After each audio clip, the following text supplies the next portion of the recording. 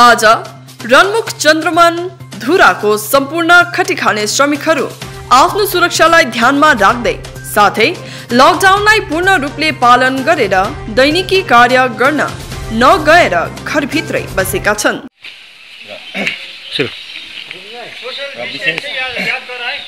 हामी रम्बुक चनमनधुरा अन्तर्गत सम्पूर्ण ट्रेड युनियन साथै यहाँका जनचेतना मञ्चसँग हामी यो अवगत गराउन चाहन्छौँ कि गत गत दिनमा राज्य सरकारको जुन चाहिँ एउटा आदेशअनुसार चियाबारी क्षेत्रमा पच्चिस प्रतिशत मजदुरहरूलाई चाहिँ काममा लगाउनुपर्छ भन्ने जुन चाहिँ अध्यादेश जारी गरिएको थियो र त्यो त्यसकै अनुरूप हामीलाई बगानको व्यवस्थापक पक्षबाट पनि एउटा अपिल थियो कि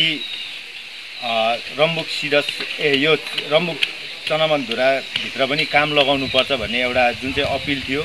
र त्यो अपिल हामीले सम्पूर्ण चियाबारी मजदुरहरूसँग पनि राख्यौँ। र राख्दाखेरि अब जुन चाहिँ हिसाबले जुन चाहिँ अब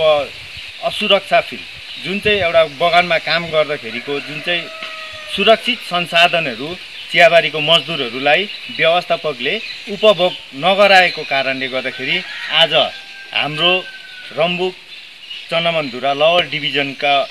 सम्पूर्ण मजदुरहरू नै स्वेच्छाले हामी लकडाउन